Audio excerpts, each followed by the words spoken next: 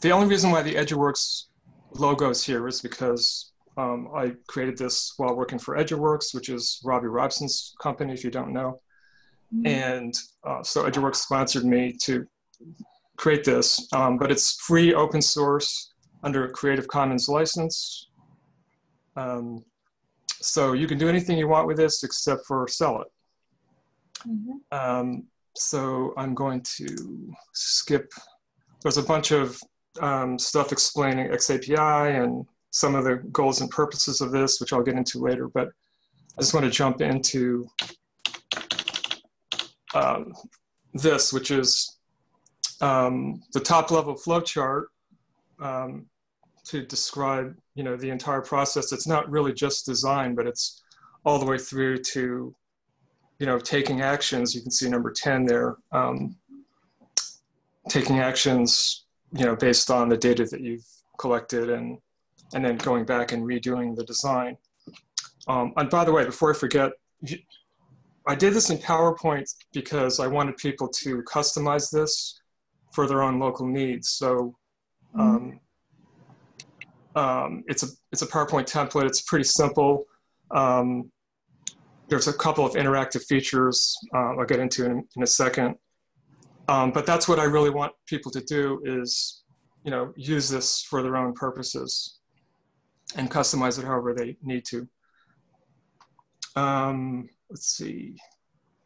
So let me just go through a little scenario here. So we're at the top level, as you can see. Um, these dotted lines show an expansion of a flowchart object. So if we want to see details on number three, specify XAPI elements, properties, and values. Um, so let's drill down into that. So we have a flowchart that's a child of that parent you were just looking at. Um, and there's a bunch of stuff in here. And one of the things that um, I really was driven by in creating this is just the idea of contextualizing all these steps and decisions and really answering the question, you know, what do I do next? And giving you an audit trail for all the all the decisions and considerations that you've that have gone into your thinking up to that point. So um, that's that's kind of a driver for rendering all this in a flowchart form. Oh, and by the way, the um, attribution for each chart is up here on the upper left. So, so I came up with this, um, this content here. This is, it says Eduworks. Mm -hmm. um, but I used a variety of materials. Um, Sean Putman, uh, Megan Torrance, um, a bunch of articles, books, etc.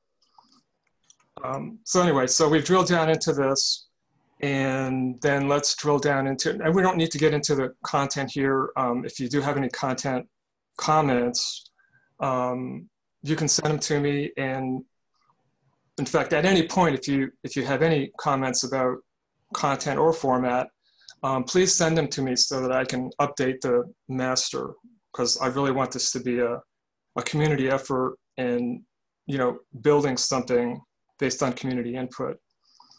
So Peter, uh, yeah. sorry, can I interrupt a bit? Here, uh, I think you, if you go back to previous slide. Okay. Um, so the, the second is designed with a high level XAPI and analytics solution. And for the whole purpose of this kind of project, there might be some data that's available in XAPI format, but some other are not. And also, um, there are some kind of metadata or personal data that you will not uh, you will not um, express that data in XAPI format. So should we put to this high level to consider XAPI data is only one kind of all the data format? Yeah, that's a really good point, Jessie. So um, well, let's see. If, I don't remember if I really dealt with that. Um, I just drilled down into this level. Not really. Um, so, I, by the way, I yes, I used to work for ADL. Um, Mhm. but I'm not I'm not an expert in you know XAPI and XAPI uh, learning design. Um, I, this is this is actually a means for me to to, to learn um, and reinforce what I already know. So um, so I'm writing that down. That kind of that's a good thing for me to think about and include in this. Um, okay, so so this is just a, a, random path that I'm following just to show you the the way that you know interactive features work here. Um, and then let me drill down into uh, let's see.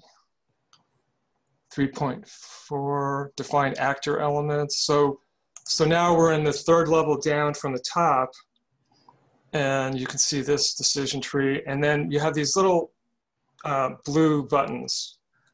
Um, and so that's just kind of a static information screen with, you know, considerations and details for applying that particular step.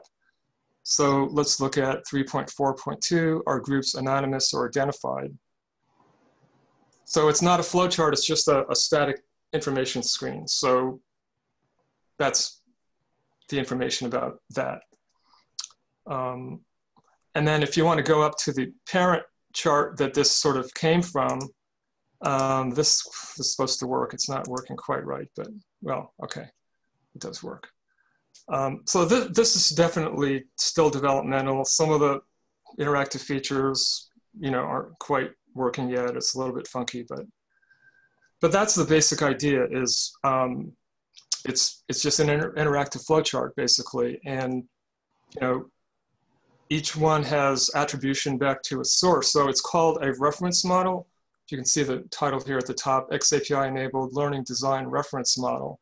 It's called a reference model because it is a collection of um, you know different people's work it's not an, an original built from scratch, single source um, piece of IP. And it's, and as I said earlier, it's free and open source. You can do anything you want with this, but it really is a collection of um, knowledge.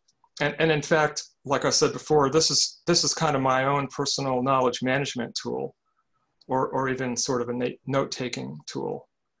Um, that was kind of my selfish, you know, impetus for doing this. So, so uh, Peter, I saw that um, you express the XAPI spec in a flowchart format. And mm -hmm. yeah, that's very helpful. Uh, do you intend to include all the content of XAPI spec into your flowchart? Uh, not the spec, but this is the design process. So what does a designer need to know in order mm -hmm. to, you know, design and, and implement a solution? Okay. They so, need yeah, yeah, it's I, I don't intend this to get into a lot of really technical details. I mean, mm -hmm. eventually it could maybe, but um, this is really for the ISD. Okay, thank you. Yeah, and and and the the, the real um, challenge that this tries to address is, and and I did this for, and I'll show you actually. Um, I did the same thing for when I was in ADL. I did this for um, M learning, mobile learning. Mm. And this is a very, very, very extensive treatment of, it's, it's really just all of ISD. You can see this is the whole ISD process here.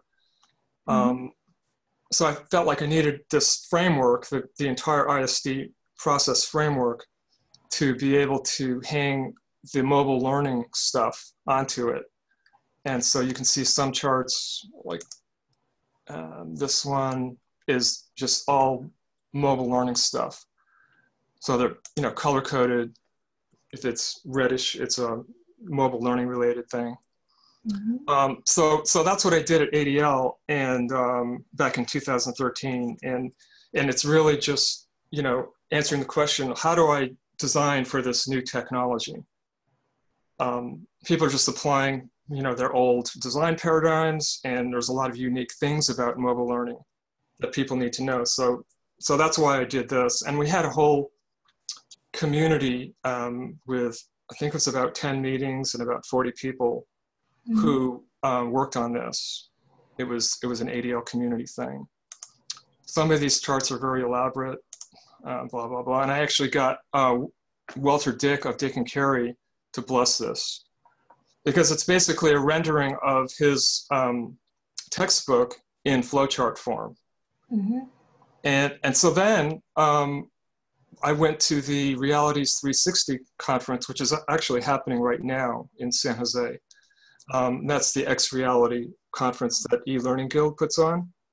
And I went to that last year and I got real excited about doing this same treatment, but in X Reality. So then I created um, this enhanced reality thing, which also uses the entire ISD process in not only keeping the M learning stuff, but adding the X reality stuff. So, so this thing just bloated up to 300 slides.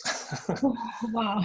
Um, and so, um, so then when I thought about doing this for XAPI, I thought, um, wow, I, I don't really feel confident enough about knowing everything I should know about XAPI to be able to hang it on the ISD framework yet.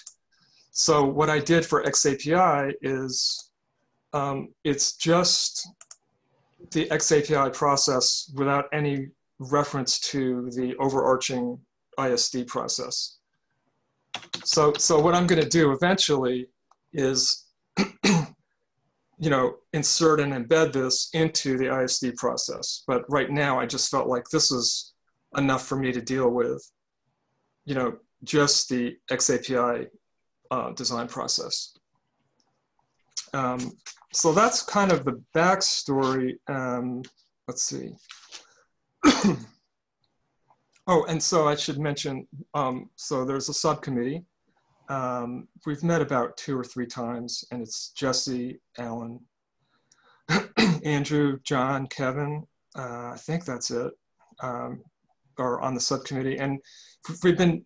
We don't have a regular schedule of meetings. We've met two or three times, and um, the meetings and agendas are totally ad hoc at this point.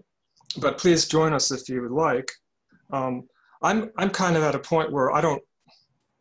I mean, if I learn something new, I I put it in here, but I would like to have some more uh, more eyes and brains um, on this and you know build it into a real community product.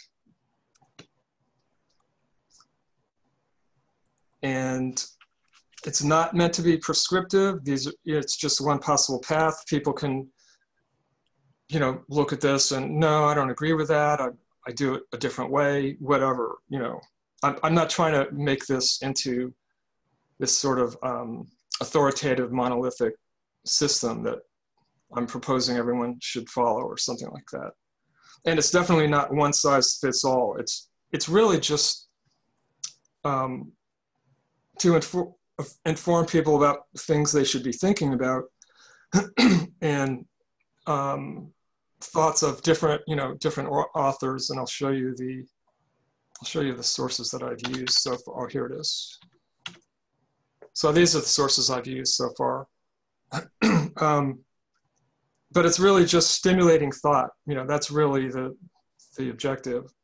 Um, getting people to think about, you know, does, does this look right? Does, does this fit your design process? Um, and it's also, it's, it's very much a mix of algorithmic and heuristic knowledge. so some things are really concrete steps, um, you know, and there's kind of a right way to do it or and a wrong way to do it. And some things are very heuristic, um, just sort of a fuzzy guideline. Um, but one of, one of my thoughts is that eventually this could be an on-ramp to um, you know, an AI design tool mm-hmm. um, that would really automate some of the, you know, making some of these decisions and um, because some of them, some of them, like I said, really are algorithms. Yeah. Um, so that's kind of it. Uh, let me just look at my notes. Um, oh, and this is also very much a template that could be used for other learning technologies. Um, so that's that's another one of my goals is, you know, when a new learning technology comes up, you know, just render the design process in terms of this flowchart. And so I've already done it for mobile learning, um, X Reality, which the e-learning guild calls enhanced reality. So that's what I call it in my flowchart, but I'm actually probably going to change it because it seems like the industry is moving towards X reality as the accepted term.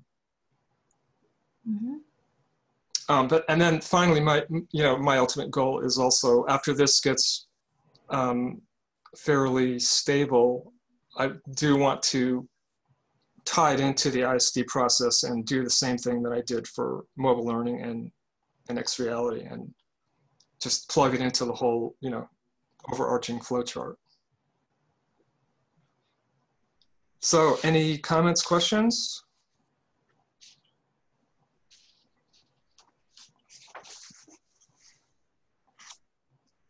And if you do see something um, that looks wrong, you know, content-wise, uh, let me know. You can, in, in PowerPoint, you can um, tag objects. Let me see. Um, you can tag a comment to an object. And so you could tag something and send it to me under the review tab, you can, you know, you can put a comment in and just write something in there. Oh, okay. So I will ask the first question. Um, Peter, do you think we can merge this with other learning design flowchart? like yeah. the mobile learning and the, the enhanced reality. Learning. Yes, yes, it definitely can be done, and and and I've already done that kind of thing with enhanced reality being added. You know, mobile learning is added to the generic ISD process chart, and then enhanced reality was added to the mobile learning chart. So this could be added as another thing, because that that really contextualizes it. It you know you're not doing all of these things in isolation. You're doing it in terms of a whole learning design. Yeah. You know, so so this is this is fine, but you wouldn't you wouldn't necessarily do your whole design and then um, go back and you know after you've done all that, identify the needs and goals for you know learning design analytics. You wouldn't do it that way. Yeah. So maybe in the middle when it comes to learning design choices. For example, you choose mobile learning or you choose VR, then you will link to the VR, the enhanced reality uh, flowchart. Right. And uh, in the enhanced reality flowchart, you, you can see how XAPI support the, the design um, and the evidence collection. Right. Yes, that, that's exactly the intention. And, and, that, and that's where it gets really, really complicated. And, and so again, that's why I did this in isolation because just removing that layer of complication for now. But once this thing is really stabilized, that's what I want to do. Mm -hmm. Because you're, you're doing this, you're doing an XAPI design on top of a technology. Yeah. So if you're doing X reality, then you're doing, you know, you're doing something, you know, an XAPI thing with it. Mm-hmm. Um, but some of these charts um, I'm pretty shaky on. Um, and, and, and, there's a lot more content. I mean, this is one of the more complex ones, but most of them are pretty simple like this, and they need to be fleshed out more.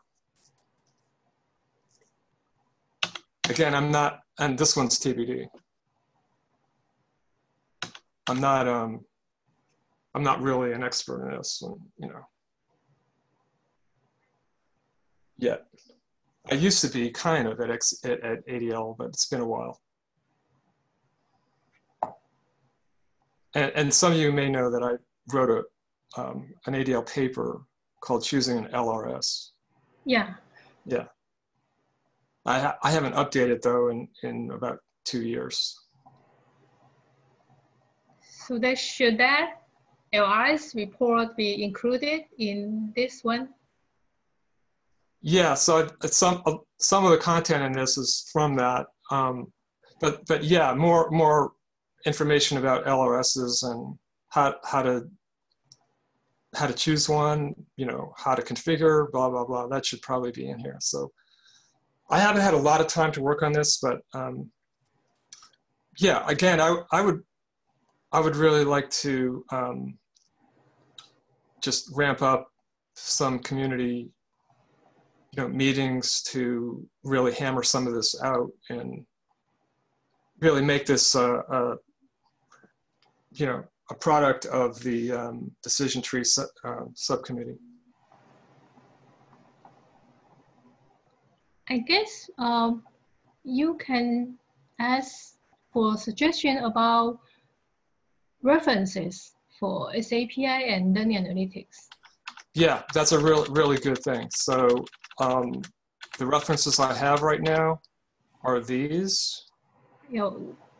Um, but if somebody if somebody has any more, and, and specifically design for a you know learning analytics solution, you know not necessarily reliant on XAPI because as we know now we're starting to talk about um, collaboration with Caliper and yes stuff like that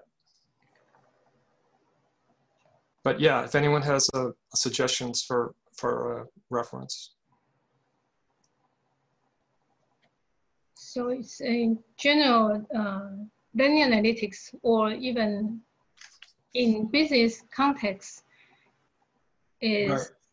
is maybe in business context it's not called learning analytics, but it's anyway it's analytics project. Right. Yeah, the good reference for analytics project. Right. Mm-hmm. Yeah, I, I, started talking to my nephew who works for the parent company for North Face about uh, using XAPI for business um, analytics, and he was he was pretty excited to hear. He didn't have he never heard of it, and you know the way I presented it is like, well, you know, it's yeah, it was created for learning, but it doesn't have to be, and and if you present it as just uh, a data analytics tool that happens to be right now optimized for learning, um, but it's really for you know business analytics, people you know they're very receptive.